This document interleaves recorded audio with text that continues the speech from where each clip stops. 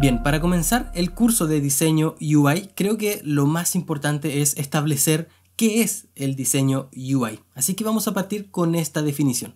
Probablemente alguno de ustedes ya sepan lo que es el diseño UI o tengan alguna noción, pero vamos a explicarlo de igual manera para que todos tengamos de aquí en adelante una definición estándar y entendamos de qué es lo que hablamos cuando hablamos de diseño UI. Entonces, ¿de dónde viene este concepto del diseño UI? Bueno, UI es una forma de pronunciar las dos letras U y la letra I en, una pronunciación inglesa. ¿Por qué habitualmente se dice en inglés? Porque suena raro decirlo en español. Suena, suena raro decir soy un diseñador UI, ¿cierto? No, nadie quiere ser un diseñador UI. Pero por eso suena más bonito decir soy un diseñador UI. Pero en el fondo de, de eso se trata, de las letras U y la letra I. ¿Y de dónde vienen estas dos letras? Bueno, vienen del concepto User Interface. ¿Y qué significa User Interface? significa interfaz de usuario. Así que con eso ya tenemos claro lo que significa diseño UI y podemos seguir adelante. No, no es así, porque hay, hay, que profundizar un poquito más y entender bien de qué se trata este concepto de diseño UI, porque si te digo interfaz de usuario, capaz y entendamos cosas diferentes. Así que vamos a profundizar un poquito más. Partamos definiendo qué es una interfaz.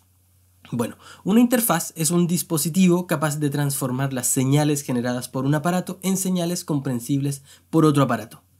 Suena un poco abstracto, pero no lo es tanto si observamos un ejemplo. Veamos, por ejemplo, una interfaz de audio. ¿Qué es lo que hace una interfaz de audio?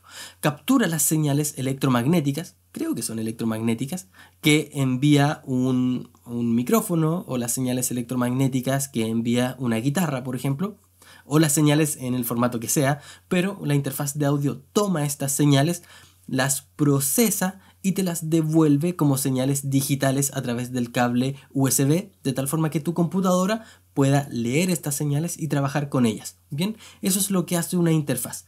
Toma señales, toma contenido que viene de una forma, lo agarra, lo convierte en una señal de otra de, un tipo distinto para que otro contexto lo pueda entender. Entonces es un dispositivo en el fondo que permite que dos entes que por sí solo no pueden comunicarse, esta interfaz permite que estos elementos puedan finalmente comunicarse o transferirse información. Bien, se entiende lo que es una interfaz. Veamos ahora qué es un usuario. Pareciera ridículo, pero tenemos que hacer esta definición. ¿Qué es un usuario? Alguien que usa habitualmente un servicio. Entonces, por ejemplo, podemos mencionar a una persona que hace uso del servicio del transporte público. Bien, el transporte público está ahí funcionando y las personas que se suben con tanto estilo como la persona que sale aquí en la foto, esa persona es una usuaria del servicio de transporte. Entonces, en este contexto, en el contexto de este curso, estamos hablando acerca de diseño de digital de interfaces. Por lo tanto, tenemos que tomar estos dos conceptos, el concepto de interfaz, que ya vimos que es algo que permite que dos elementos se comuniquen entre sí, y lo que es un usuario, y vamos a llegar a una definición que más o menos sería lo que tenemos escrito acá, que una interfaz de usuario es un medio que permite a una persona comunicarse con un sistema digital, ya sea para recibir información, ingresar información y o darle instrucciones a este sistema. Es decir, tenemos un sistema digital, tenemos un sistema informático que funciona en base, eh, funciona a partir de, bases de datos, de servidores, de, procesamiento, de, de procesos de almacenamiento. Todo eso es lo que hay por debajo. Todo eso es un sistema informático, un sistema digital. Y tenemos a una persona que quiere hacer uso de la información que está dentro de este sistema. Una interfaz es un, un, dispositivo que va a permitir que esta persona se comunique con este sistema, ya sea para recibir información que este sistema le puede entregar, ingresar información a este sistema o darle ciertas instrucciones al sistema. Ahora, esto se puede hacer sin necesariamente tener un diseño particular, y es lo que bien grafica Paulo Stanley en este cómics, porque sobre todo en el año 2000 muchos de nosotros vimos bastante, bastante eh, en el imaginario colectivo esta idea de la pantalla negra con el texto verde, que lo que muchos desarrolladores, desarrolladores hacen hoy en día, que es escribir en el terminal.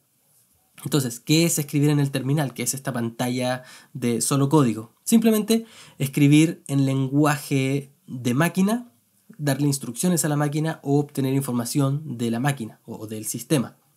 Pero la mayoría de la gente no habla este lenguaje de sistemas, no habla este lenguaje de máquinas. Por lo tanto, ahí es donde nosotros los diseñadores eh, comenzamos a, tener injerencia, porque lo que nosotros hacemos es tomar esto mismo que, se hace a través de código y convertirlo en algo amable, en algo que la gente pueda entender. Por lo tanto, en vez de escribir, en vez de que, por ejemplo, para subir una fotografía, eh, para adjuntar una fotografía a un email, una persona tendría que escribir ciertas variables, algunas funciones eh, y una serie de, de, líneas de código que hagan que esto que un archivo se adjunte al correo electrónico. Pero nosotros los diseñadores pensamos desde el punto de vista del usuario que sería más fácil y lo que hacemos es poner un botón que diga adjuntar archivo. Entonces la persona hace clic en el botón de adjuntar archivo, se abre una ventana, selecciona el archivo y el archivo está adjunto. Eso es una, eh, una versión para personas que no saben escribir código. Por eso vamos a agregar una letra extra a, nuestra, a nuestro acrónimo. En vez de quedarnos solo con UI, vamos a agregar una G al principio. O sea que ahora vamos a tener un acrónimo que es GUI o GUI o como quieras pronunciarlo, me da lo mismo. Pero vamos a tener estas tres letras. Que en el fondo todos nosotros deberíamos utilizar esta, esta terminología que es mucho más apropiada. ¿De dónde viene UI, GUI o GUI o GUI o como quieras llamarle?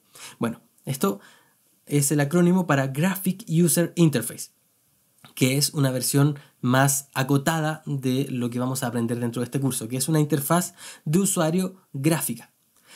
¿Qué significa que sea una interfaz gráfica?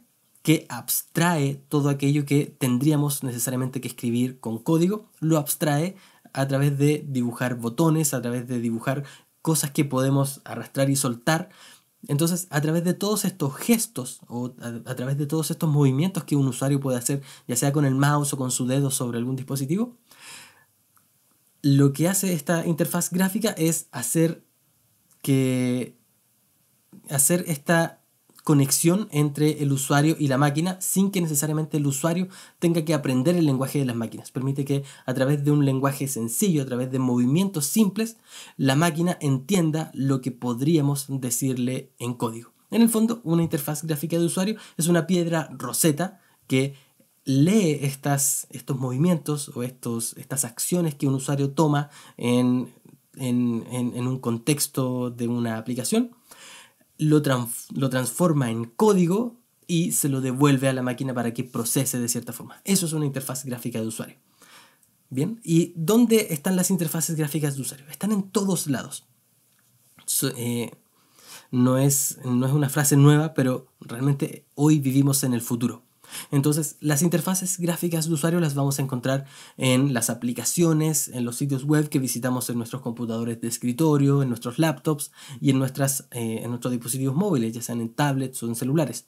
Entonces, vamos a tener interfaces rodeándonos prácticamente todo el día. Pero eso no se queda ahí porque además tenemos interfaces gráficas en, en los relojes, porque hoy día ya se están poniendo muy de moda los relojes digitales, en las televisiones, porque, o los televisores, porque sobre todo con los Smart TV, ya no solamente tu televisor es una, una pantalla que transmite lo, lo, que emiten las televisoras, sino que también tienes menús, tienes elementos que te permiten acceder a Netflix, a YouTube, a, a navegar en Internet, tienes muchas cosas. Entonces también tenemos interfaces gráficas de usuario en los televisores.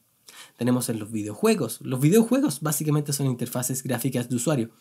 En los automóviles también tenemos. El otro día recuerdo ir en un taxi y el, y el automóvil tenía una pantalla muy bonita en donde te mostraba un montón de información de la canción que estaba escuchando el, el, conductor, te mostraba información del GPS, te mostraba información a la hora de estacionar, a cuánta distancia estás con el otro vehículo. Entonces, tenemos interfaces de usuario en todas partes. Incluso ahora estoy mirando a una interfaz de usuario. La, la, la cámara con la que estoy grabando mi, mi, mi rostro eh, me muestra mucha información y está muy cool porque me, ve, me permite ver qué tan bien encuadrado estoy dentro de la, de la toma y además puedo ver cuánto es el ISO que estoy utilizando, cuánta es la apertura, cuánto es el, el eh, cuánta es la exposición, etcétera, etcétera. Así que tenemos interfaces gráficas por todos lados y vamos a seguir teniéndolas en muchos más lugares en el futuro. Así que el trabajo que tenemos nosotros como diseñadores de interfaces de usuario es muy grande, muy potente. Y a mí me gusta mirarlo de la siguiente forma. Tómalo o déjalo, pero a mí me gusta mirarlo de la siguiente forma. De nosotros depende crear un futuro en donde todas estas interfaces hagan que la vida de las personas sean más amables, o que sean más fáciles, que les permitan realizar las tareas que quieren realizar de manera fácil y sin quedarse, eh, sin quedarse atrapados en entender cómo funcionan los sistemas, sin, sin quedarse atrapados en entender cómo funciona la, la informática. Lo que queremos o nuestro objetivo, nuestro trabajo como diseñadores de interfaces es hacer que el mundo sea más amable con las personas. Y ya que estamos en eso, si también podemos hacer que sea más bello, genial. Es un, es un agregado que viene muy bien. Así que desde mi punto de vista, el trabajo que tenemos es muy importante y al mismo tiempo muy motivador. Crear un mundo que sea más amable para las personas y además que sea bello. Esa es mi, esa es mi visión. Puede que no, que no la compartas si lo tuyo sea más estrictamente funcional, está bien, pero quería compartir contigo este futuro bonito que veo para nosotros como diseñadores. Bien, eso es todo por ahora. Nos vemos en la próxima lección. Chau, chau.